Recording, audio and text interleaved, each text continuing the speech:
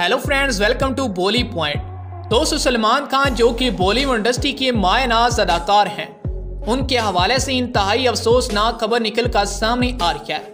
दोस्तों, सलमान खान के हवाले से सोशल मीडिया पर यह खबरें आ रही हैं कि सलमान खान ने खुदकुशी का लिखा है। दोस्तों, क्या वाकई सलमान खान ने खुदकुशी का लिखा है? इस खबर के पीछे असल हकीकत क्या है? आइए आपको इस वीडियो के अंदर मुकम्मल इन्फॉर्मेशन देती हैं।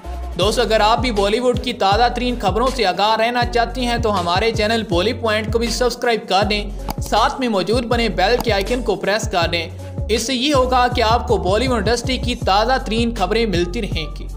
दोस्तों, जैसा कि आप सभी लोग जानती हैं कि सलमान खान साहब कतरीना कैफ से शादी करना चाहते थे, मगर कतरीना कैफ की शादी विकी कुशाल के साथ होके, जिसके बाद बताया जा रहा है कि सलमान खान साहब काफ़ी ज़्यादा परेशान दिखाई दे रहे हैं।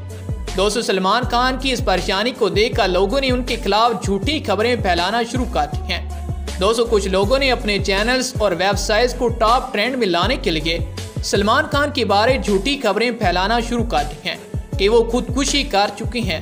मगर मैं आपको बताता चलूँ कि ऐसा हरगिज नहीं है। वो बिल्कुल अपने घर में ठीक ठाक हैं। हाँ वो कतरीना कैफ की शादी से सदमे का शिकार हैं, मगर उनके बारे खुदकुशी और मौत की तमाम खबरें झूठी हैं। लेकिन आप जू ही सलमान खान के बारे लेटेस्ट न्यूज़ आती जाएगी, हम आपको नेक्स्ट वीडियो की सूरत में लाजमी आगाह करेंगे। और सलमान खान आपको कैसे लगते हैं कमेंट बॉक्स में लाजमी आगाह करिएगा। मजीद बॉलीवुड इंडस्ट्री के बारे लेटेस्ट न्यूज़ हासिल करने के लिए हमारे चैनल बॉली पॉइंट को सब्सक्राइब लाजमी करिएगा।